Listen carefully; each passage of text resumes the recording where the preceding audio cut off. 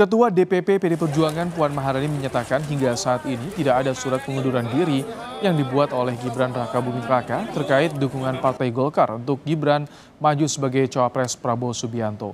Puan juga meminta agar masyarakat jangan berandai-andai soal Gibran maju sebagai cawapres.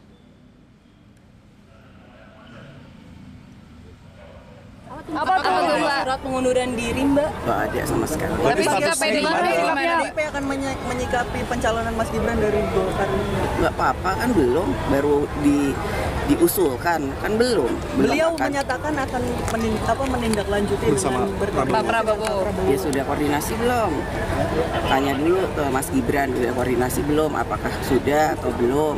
Ya, saya nggak tahu. Coba ditanya ke Mas Gibran. Terbaru Jangan berandai-andai kan belum maju, baru dicalonkan atau baru direkomendasikan. Jadi kita tunggu dulu langkah selanjutnya. tapi sudah menyiapkan strategi